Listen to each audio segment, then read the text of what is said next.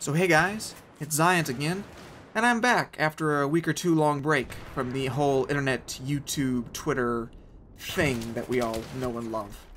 I wanted to talk today about the future of my channel, because I love Battlefield. It's still one of my favorite games of all time, but it's not the game I'll be playing for the rest of my gaming career, which I'll, of course I'll talk about in my Gaming Future series.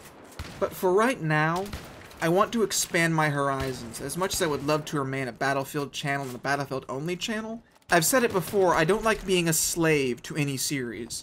And there are so many good games out there. Battlefield is just one of them, and I want to play and experience and bring you entertaining content from as many as I can. So I bought Spec Ops The Line during the Amazon sale, and I read a couple reviews, I played the demo, and for me it looked and played like a really cheesy, Nolan North voiced Gears of War clone. But as with all things, you can't make an intelligent opinion until you've seen the whole package. Which a lot of people did in the Battlefield 3 Alpha and Beta. It wasn't the game they expected, so they immediately think, oh, well, the full game can't be like this, and they play it, and lo and behold, it is. Or vice versa, and they hate the Battlefield 3 Alpha and Beta. if this is what the game's gonna be like, I'm not gonna play it. So they don't play it, which is fine. For Spec Ops The Line, then, I wanted to play it just because it, it's something different. I'm not a third-person shooter person. I've never really played one of those. And so I read a couple reviews, and they said that the gameplay was average for a shooter, but the story was the real crux of the game. I even heard someone compare it to Heart of Darkness, and if you're bold enough to make that claim, because that's one of the greatest books in the English language, then there's something to be said for the story. But what does this have to do with my channel? Well, simply put, I want to do a Let's Play of Spec Ops The Line. My main reasoning is I want to do Battlefield live comms, but I can't come into live commentary cold and expect to be at all successful. And with a Let's Play being almost completely freeform, or at least that's how I perceive them to be, and so not only will it give me the opportunity to bring you guys some fairly consistent content, It'll give me some experience in a less stressful situation with live commentaries. Whether or not this actually happens on the channel, I will still be playing Spec Ops The Line, and I will probably be writing a review of it on TopTierTactics.com. For those of you who are interested, the link is in the description below, blah blah blah, shameless plug. I'm not, however, giving up on my Battlefield content. It's still a game that I'm going to love playing. But as I've gone through my initial YouTube formative weeks and months, I've come to realize that analyzing game design and game mechanics has sort of the niche that I'm going to try and fill. So I want to talk about more than just the actual game design itself. I want to talk about the communities around which games form.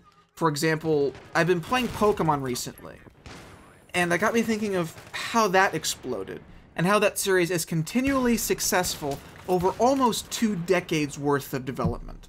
And then, of course, I would have to talk about the cards and about the anime and about all the other auxiliary things that made it as profitable as it is.